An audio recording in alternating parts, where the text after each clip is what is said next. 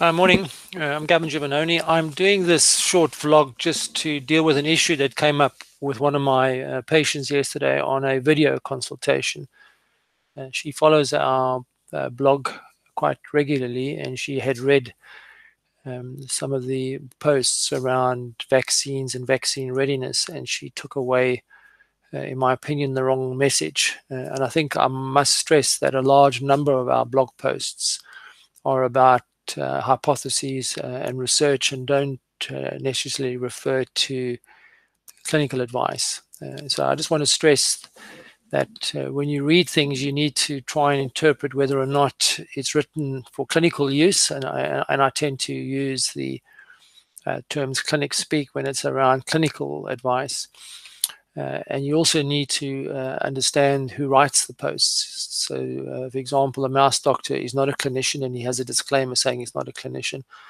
Uh, and I think if you're reading anything around uh, some of the people that post on the on the blog um, um, before interpreting their advice as being clinically relevant. And when it comes to multiple sclerosis and being on disease modifying therapies, uh, uh, vaccines are a, a very important uh, topic. In general, it doesn't matter what disease modifying therapy you're on, you can have what we would call inactivated or component vaccines. Um, regardless of whether you're on an immunomodulatory therapy, a therapy that doesn't cause immune suppression, or you're on an immunosuppressive therapy, you can still have the vaccines. And there is uh, no guarantee that you will uh, respond to those vaccines necessarily if you're on an immunosuppressive therapy. Um, but you may still respond to them, which is why you should still have them. So, for example, with the upcoming flu season, everybody uh, should have the inactivated flu vaccine. It's very important that if you're on an immunosuppressive therapy, you don't have the nasal or live flu vaccine, which in the United Kingdom is only really licensed for young children to prevent them having uh, injections. There's obviously an exception to that because those children can bring back that live vaccine into the home. So one of the contraindications for your children having it is if they have somebody in the home is vulnerable and on immunosuppressive therapy, and not to bring back the so-called live vaccine strain and give it to their parents or their siblings or whoever. And so, you know, if you are on an immunosuppressive, chronic immunosuppressive MS therapy, uh, and those are ones where the live vaccine is contraindicated, so the so-called S1P modulators, so fingolimod, uh, siponimod, those are the anti-CD20, so this will be rituximab, ocrelizumab, and now ofatumumab in the United States, for example. Your children shouldn't have the, the live nasal vaccine. They should have the inactivated injection vaccine so they can't bring home viral strains to you. Um, even if you're on these therapies, you should still have the annual flu vaccine because, uh, particularly in the current environment, because um, there is a prediction that the flu season may be worse this year than previously because the current strain that is circulating in Asia and other parts of the world uh, tends to be, uh, looks like it's going to cause severe flu. And we don't really want people to be having severe flu-like symptoms uh, in the current COVID-19 crisis because it's going to be difficult to disentangle them and they may interact with each other and make each other worse. So if you can get the flu vaccine to try and prevent yourself getting flu, it's a good idea. The big issue is live vaccines. Um, uh, and there are not many live vaccines around, uh, but in people with uh, multiple sclerosis, for example, who want to travel to places where you have to have the yellow fever vaccine. The yellow fever vaccine is currently a live vaccine, and that is contraindicated in almost all of our immunosuppressive therapies, um, except the so-called immune reconstitution therapies. That would be, say, cladribine, uh, alemtuzumab, HSCT, uh, mitoxantrone, uh, or those group of therapy, if your immune system has recovered you know, obviously when you just have those treatments and the, you're in the depletion phase and you don't have a reconstituted immune system yet, those that vaccine will be contraindicated. But once your cell counts uh, recover back to normal and you um, uh, pass the uh, repopulation phase uh, of those treatments, you know, you can have live vaccines. So that's um, that's the exception. Some of our treatments, um, you know, live vaccines are not a problem because you're not immunocompromised. So the platform therapies like uh, interferon beta, and the various formulations of interferon beta, and glatiramer acetate or Copaxone, and the uh, uh, uh, so-called bioequivalence. Um, those that those treatments don't suppress your uh, immune system and your immune responses to live viruses is intact. So you can have live vaccines on those two treatments. As soon as you move up to the uh, other orals like teriflunomide and uh, dimethyl fumarate, um, uh, with teriflunomide, the, the, the uh, summary of product characteristics does not recommend live vaccines because it's considered to be a potential immunosuppressive therapy. My personal opinion is people should deal with live vaccines, fine on that therapy. And similarly with dimethyl fumarate, the label is a risk-benefit label. But again, because it drops lymphocyte counts, particularly the CD8 lymphocyte counts may be quite suppressed on uh, dimethyl fumarate. Uh, I think for safety reasons, most people would not give a live vaccine uh, on, on those treatments. Um, uh, moving up to the uh, infusion therapies, natalizumab, again, it's a risk-benefit my personal opinion, if the vaccine, like the yellow fever, is neurotropic, you don't really want to have a live viral vaccine with a potentially neurotropic virus that could go to the central nervous system because natalizumab blocks trafficking of lymphocytes into the nervous system and the vaccine strain can become uh, pathogenic. So if it gets into the brain and your immune system can't find it, you may get an encephalitis or a meningoencephalitis, a meningitis from the from the strain. So I personally wouldn't rec recommend uh, live vaccines that are neurotropic uh, on natalizumab.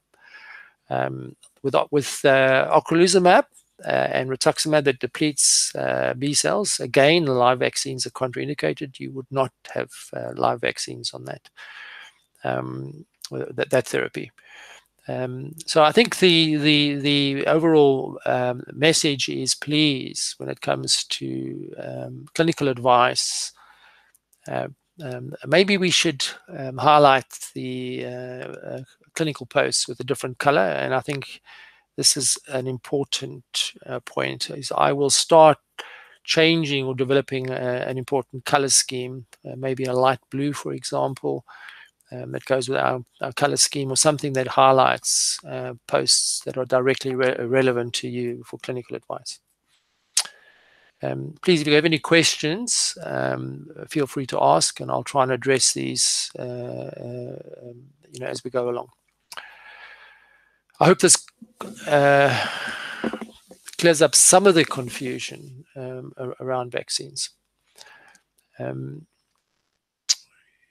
just to say that I have posted on this and I have given lectures on this, we do a thing called baseline screening and we do a vaccine review uh, prior to starting our patients on immunosuppressive therapies.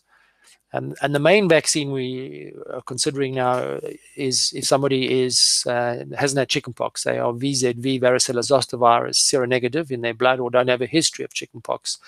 Those people we vaccinate. And in Britain, in the UK, the vaccine that uh, is given for varicella zoster is a live vaccine.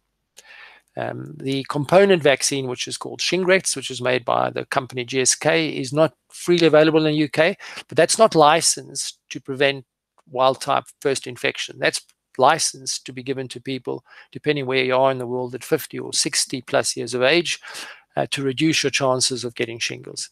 That vaccine is likely to work um, uh, in you know in people who've never had chickenpox, but it hasn't been tested yet, and there are plans in the United Kingdom to do a vaccine uh, to test these, this component vaccine to prevent chickenpox uh, or severe chickenpox.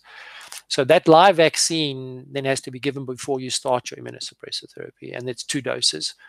Uh, and they're four weeks apart, and you have to wait at least three weeks uh, after the second dose before uh, starting immunosuppressive therapy. Now, what has been happening is some people have been checking to make sure people seroconvert. Uh, and often we find that a few patients who've had this live vaccine, the two injections, we don't find antibodies. Now, the virologists and the vaccinologists tell me it's no point in revaccinating those people. They're likely to have immunity T cell. So we, we've stopped checking um, antibody responses. As long as we've documented they have the, uh, the vaccine, we're not giving second vaccines, for example. So that's an important issue. You don't have to seroconvert um, uh, to have immunity. In other words, the immunity is driven by the so-called T cell compartment of our immune system without. So other vaccines we're screening for now at baseline is mumps, measles, and rubella. As you're probably aware, there's an anti-vaccine movement going on. Uh, and some people believe that the MMR vaccine caused autism. It's now been disproven. That paper's been withdrawn. That's it's not okay. But anyway, there's a, a large population of patients that haven't, or people haven't been vaccinated against MMR. Uh, and they're now getting into adulthood. They're getting MS, uh, and we ask them. They haven't had the vaccine. We do uh, blood tests, and we find they've got no antibodies against mumps, measles, and rubella those patients now are we're revaccinating them, and we've picked up a small number where they, we give them the uh, mumps, measles, and rubella as an adult. Um, other vaccines we may decide to give uh, if somebody's going on to an anti-CD20 therapy like ocrelizumab or ofatumumab or rituximab, uh, and they uh, work in an or going into an environment where they may get exposed to meningococcal, the bacteria causes meningitis. Um, uh, that typically occurs in crowded places like university residences or in the armed forces when they're going into basic training. Those people if they haven't had it, they should be vaccinated against the meningococcus. All our patients going on to anti-CD20 therapy now are being advised to get the pneumococcal vaccine, and that's part of a public health campaign. Anybody going on to immunosuppressive therapies now should have the pneumococcal vaccine before they start the treatment. That's kind of uh, Public Health England guidelines.